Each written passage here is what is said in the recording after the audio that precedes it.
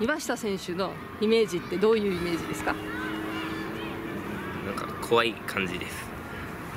いろんなプレゼントがあった中でなぜ岩下選手のプレゼントを希望したんですか？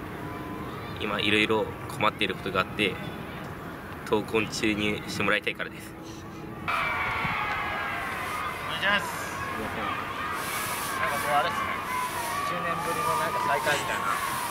ノリのやつですねお願いしますお願いします。今日は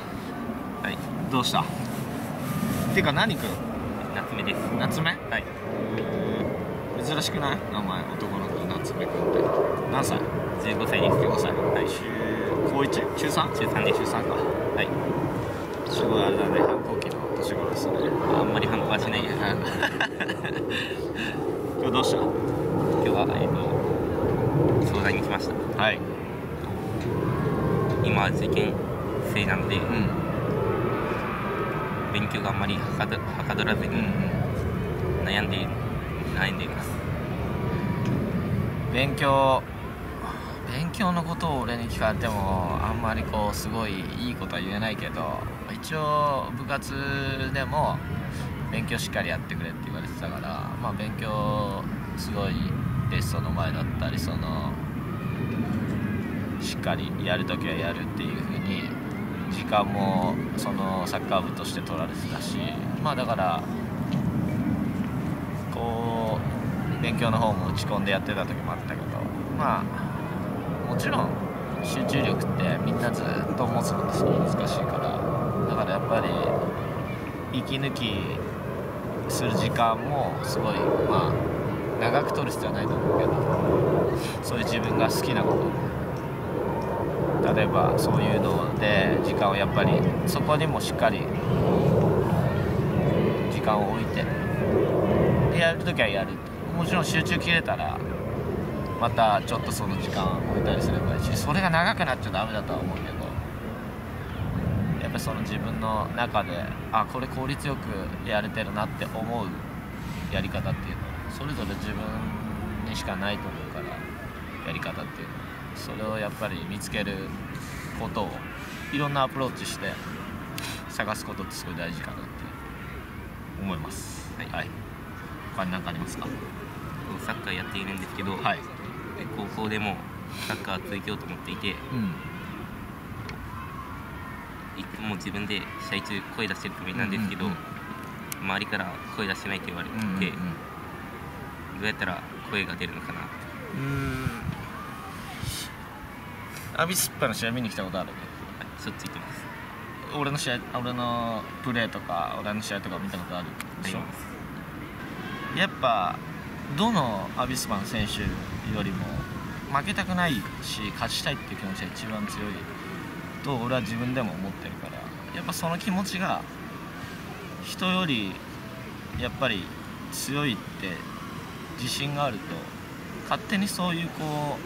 う行動に出たりそういうこうリアクションを自分で取るようになってると思うからだからやっぱりその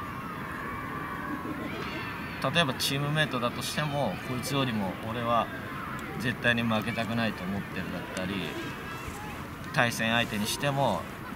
他のチームメートの選手が負けてたりしても自分はこの目の前の選手に絶対このプレーでは負けないよっていうのを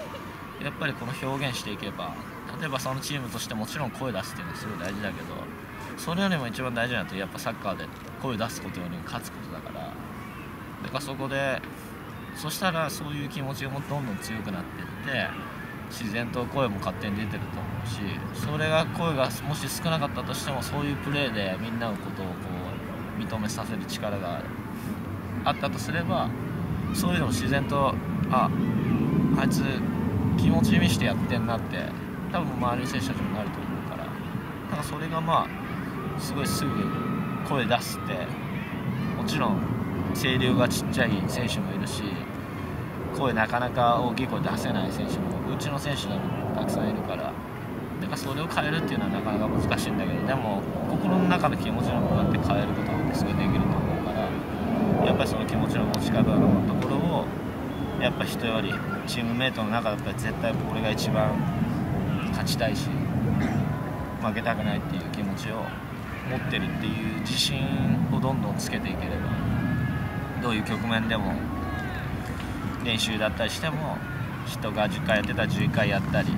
その10回で質をどの選手よりも高くやってるっていう自分の中で自信がどんどんついていけばそういう行動って取れるようになっていくと、まあ、そういう風なアプローチの方がすぐ声出すっていうよりもみんなが分かってくれる目に見えるように分かってくれる部分かなって思います、はい、何かがで夏目ですはい。見せてください。はい。その心は。その心は。まあ俺この言葉好きなんだけどさっきの話じゃないですけど。まあやっぱり自分次第かなって自分次第で何とでもなるし。どんなまあまあ15歳だし。すげえ可能性あると思うから。いろんな。だからそのまあいろいろいこういちいち悔しがったりいちいち喜んだりこれはしてほしいなまああんまり一喜一憂しない方がいいっていう人もいるけど。一喜一憂してそれにまた自分でリアクションしてこう頑張ったりした方がすごい自分としてその時間楽しめてるかなと思うから、